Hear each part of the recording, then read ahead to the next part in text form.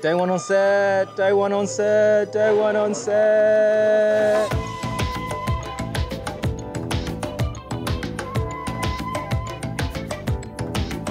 Hey, my name is Will Sewin. I'm playing the character Will, and welcome to my fantasy.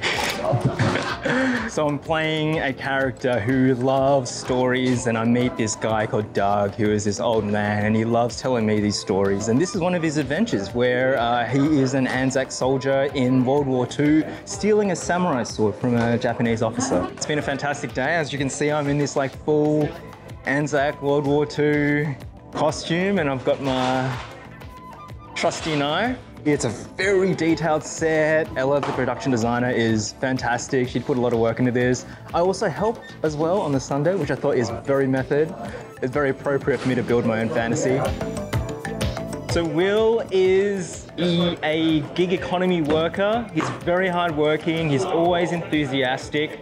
And he just wants to make everyone relaxed and happy, and he always goes with the flow.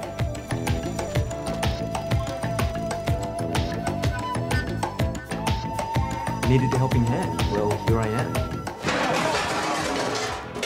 Or what do you need most? Stars or money?